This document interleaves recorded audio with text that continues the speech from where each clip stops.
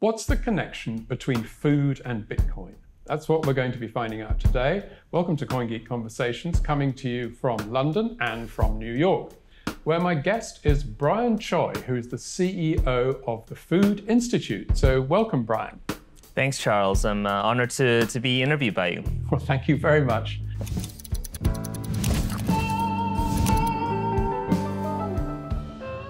You're listening to CoinGeek Conversations with Charles Miller. Let me start by asking you what exactly is the Food Institute? I know it's a very venerable institution that's been going for almost 100 years, but it's actually not a fusty old institution as, as perhaps the name or my preconceptions might have guessed. Tell me about your involvement with it. So, the Food Institute actually started in 1928 by a broker in the food industry. And he started it with the intention of providing basic news about certain products or pricing information and making that available to other members of the food industry. And you know, over the years, it evolved, it grew. The report uh, really became, uh, at that time, it was the only, it was the go-to place where, you know, if you want to know anything about what's happening in the corn market, in the hog market, in different sort of uh, food commodities, that was a place that you go. You go to the Food Institute, you, you get the report on a weekly basis. And so, um, you know, I, I got involved with the company um, actually about five years ago when I became a subscriber. You know, at that time I was, I was doing investment banking, I was in private equity. I wanted to know where I can go to get unbiased news, great content, and informed content you know, as a food industry professional. And the Food Institute was one of the places that I would go. It's a an authoritative news agency, a news provider then. Correct, correct. And that's that's the main part of what what we do.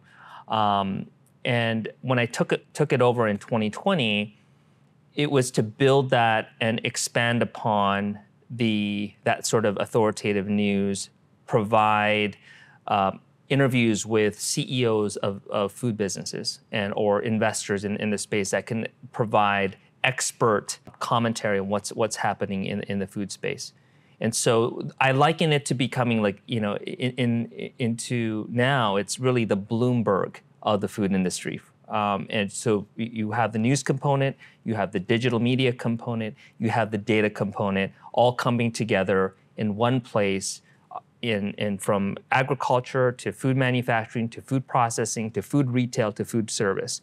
The one stop, the one hub where you can get the information that you need to, to help you be informed about your business. The Food Institute, it sounds like some kind of public body, but in fact it's gone from being a, a public nonprofit to a commercial. How did it make the transition and when did it make the transition to being a, a, a commercial organization?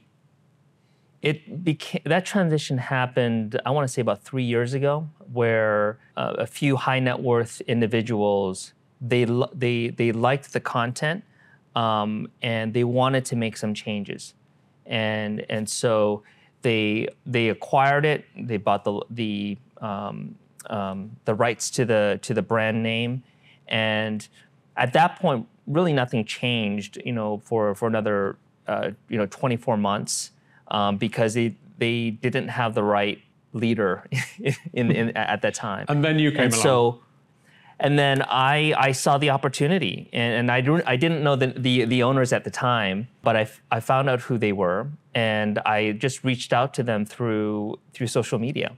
And I, I, I pestered them for probably about six months until, until they got sick of me and fi- decided to, to, take my, to take my call. And I introduced myself and I, I basically told them, long story short, what I wanted to do. And then three months later, I acquired the company. Well, that's great. Well, that takes us right to where we are today. So perhaps you could explain what is your business model for the company, and in particular, how Bitcoin fits into it. Sure. So, you know, as I mentioned, you know, um, uh, a minute ago, you know, the, the vision is to really continue to build this into becoming the industry, food industry hub where whether you're a food industry executive, whether you're a private equity individual, whether you're in venture capital, you want to know what's happening in the food industry. So we've been growing quite rapidly over the six, you know, the, the past 16 months since I took over. Um, and a lot of our content is geared towards what's what's going to impact the food industry, right? A lot of our content is about up and coming trends. Obviously, we've done a lot on on you know plant-based what's happening you know, we have a w- webinar next week on the rise of insect protein which is the, you know the next generation of, of alternative uh, you know protein alongside that the techno- technological changes that are impacting the food industry also come into play you know artificial intelligence you know uh, uh for example um, payment processing as another example leveraging data to, to help businesses be better informed about uh, what consumers are doing. And this is where blockchain really comes into play. And so, yeah, you know, I, last year I reached out to, to Jimmy and, and, and to Stefan. Jimmy Nguyen, yeah, host of the CoinGeek uh, conference. That's correct. And I wanted to um, have them introduce blockchain to our audience, which you know, primarily represents you know, most you know, food industry uh, middle market companies directly related to the management level. Just to clarify for, people, you don't speak to the in, individual consumer. You are a professional. You address professionals, and that they pay a, a decent uh, subscription for the information that you provide. Right. So so part of it is, is subscription based. Part of it is advertising based. So we have banners. We we have a few advertisers through our, our digital media. We also have an advisory component. So given my background in investment banking consulting, um, I spend a lot of time helping advise companies strategically in how they should be um, shifting, pivoting uh, their, their business strategy. Well, just getting back to what you said about uh, introducing your audience to a Bitcoin, Bitcoin SV in particular, you invited Jimmy Nguyen and Stefan to address them. How did that go down? It was very well received. I think you know um, the the feedback that I got was that they they found the content to be um, it was basically a Bitcoin 101. which is you know not many people really uh, really understand blockchain, let alone cryptocurrency, and so for them it wasn't about trying to you know it wasn't about oh BTC versus Ethereum versus Litecoin. It was about okay what is blockchain and what are the specific use cases that food industry in, you know uh, food companies can can apply to, towards their business. So it was great. You know, it was well received. There were a lot of questions, and I think um, the plan is I, I want to invite Jimmy and, and, and Stefan back uh, for round two, where they, you know, companies like Unisot and Seafood Chain can explain what, you know, what are the, the, the next generation of applications that food, you know, food companies can can use you know, in, uh, for, for blockchain. I would think that Stefan Nilsson would be a terrific um, example because his uh, initial work with Unisot was with the Norwegian salmon industry, wasn't it? Correct. I guess that would be a terrific way of interesting people in the food industry in general in how supply chains could be, uh, could be helped. That's correct. So, do you see this being a major uh, change for the food industry? Will, will we see mass adoption of these technologies? Or what are the problems about that going forward, do you think? I do, I do think that there will be a massive transformation on all parts of the food industry as it relates to um, leveraging data, using technology, artificial intelligence. It's already started, right? So I'll give you I'll give you an example on the AI front you have companies like Tyson, um, JBS, two of the largest meat processors in the world, and they've used um, technology, software, software, and you know robotics to replicate deboning certain types of um, you know whether it's cows, whether it's pigs, or you know a poultry, and the, the efficiency of these robotics are on par with human, human workers.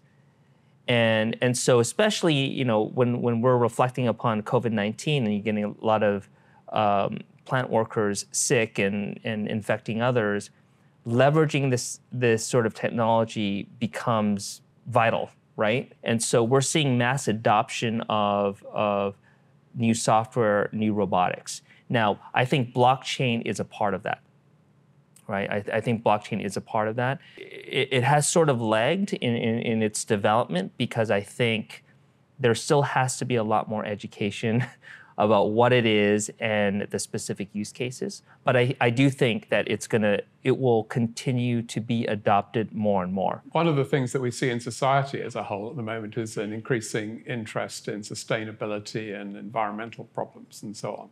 And I imagine that if anything, those concerns are part of the food industry more than other industries. Is that going to help promote the kind of accountability that blockchain could provide for supply chains, do you think? Absolutely, no, no question. We've already started to see um, the adoption of the whole ESG movement, environmental sustainable governance, right? So co- when companies like Coke and PepsiCo, they are putting a stake in the ground and they're saying, okay, by, by 2030, we're going to be carbon neutral, or by you know 2025 we're going to um, uh, use 50% less water. Um, so companies have already started to to make you know put a stake in the ground like that, um, and blockchain is one of the key ways I think that that level of accountability um, you know uh, can be monitored right? So it's one thing, as you, as you know, Charles, it's one thing to say something like, oh, we're going to be carbon neutral by 2030. It's another thing to say, okay, here are the facts. This is the data. This is what we've done, and having it transparent to, to everyone and easily verifiable, which is what te- blockchain is able to do. Yeah, because in a way, I think if you look at the kind of vision that Stefan Nilsson has, what's great about it is that the efficiency and the accountability kind of go hand in hand. And from the point of view of sustainability or knowing where my food has come from, which is kind of related to that, I suppose, everything is pointing in the same direction rather than having to make a choice between efficiency and those other concerns. Correct. Yeah, 100% agree. So I'm hoping more companies like Unisot and Seafood Chain, you know, be, come to the forefront because I think, you know, um, we're still a long ways away for for this technology to be adopted by by the masses. And um, the more entrepreneurs are leveraging the BSV uh, blockchain and developing applications, that's only going to help um, foster uh, adoption, which is which is my hope. So. I'm interested in the, the job that you have carved out for yourself here because it seems a very complicated one because you're running a big business, the Food Institute, but you are also having to be an expert on the content of this business in terms of Bitcoin and uh, all the other robotics and whatever. I mean, it, it, you must be a busy man, I think. Yeah, we're definitely short staffed. We need a lot more people. We're hoping to hire a lot more people next year. What is the what is the staff? How many staff do you have roughly? Do you know? Well, we we started the year with with seven, um, but now we're at 11, 12, sorry, we're at 12 currently. And then next year, uh, potentially double that. Um, so we, we, we received some investment capital from a, from a private equity firm and to help us fund that growth but you're right. But you're, you're right, Charles. Like it's you know to be on top of all the various trends that are impacting food from farm to fork, and to to have a level of understanding uh, to share that share that type of content with our audience is is a tremendously difficult task. And so I'm hoping to hire some some more experts to help join my team next year. So if you haven't, if you know anyone, just let me know. Finally, I have to ask you: uh, Are you and your team um, gourmets? Do or do you cook, or do you love going to restaurants, or is food just another industry as far as you and your colleagues are concerned, or is it a love of food that drives your your work? It's both. It, it, it's both. So I'm not a great cook, but my wife Susan, she she's she's a wonderful cook, and so she's she's always teaching me about about different types of food. I love going to restaurants and seeing just how creative chefs can be with food, right? So one example, 11 Madison Park being one of the best restaurants in the world, Daniel Humm, he converted his entire menu to be a vegan menu this year. Uh, and for a you know three star, three Michelin star restaurant, um, and as you know, uh, high profile of a chef as Daniel Humm, you know, is to do that. It it sends a, not only a statement, but you're almost wondering like, wow, like, are people really going to pay four hundred dollars for vegetables? do we know whether it was a, a good move from a business point of view or not yet? It's still early. Uh, so he, he announced it, I want to probably say like four or five months ago. So I think we'll, we'll have to wait a little bit more to see whether there's going to be repeat business. Um, the novelty has definitely, you know, it was there. So wow, like a vegan, a vegan menu uh, we'll we'll see. You know, time will time will tell, right? So I think we need to wait another six months. He can save a little bit on the ingredients anyway, probably. Exactly. Yeah. Right. Um, but yeah, I, I, I, love food. I love the food industry. I, I, speak to a lot of owners all the time. You know, from from farmers to you know produce uh, marketers to food. You know, food, and and you could tell like it, they love their business they love dealing with people. They recognize the importance that food brings to, to society and to, and to families. Um, they care. They care about, about people, right? And, and in, in most, you know, most um, executives that I talk to, they want to make sure that their food is, is clean and they want it's healthy and it, it, it helps the overall health, you know, of, of individuals and especially coming from a time of COVID where yeah, it's like it's it's more important than ever. So yeah, it's uh, it's like I, I love the industry. Well, the, even if the Food Institute is a commercial organization, I think it's doing tremendous work because we all would like our food to, to be provided more efficiently. That's in everybody's interest. So exactly. good luck with your work and thank you so much, Brian. Thanks for talking to me today. Absolutely. Thanks for having me, Charles. Thanks a lot. Bye now.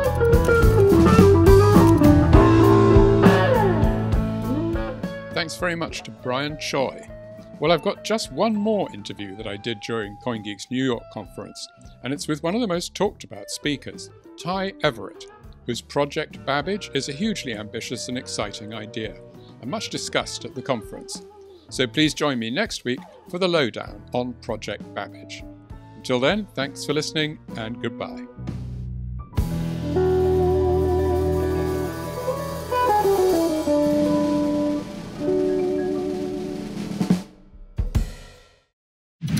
Data is double edged. Wield it well and build your place in tomorrow.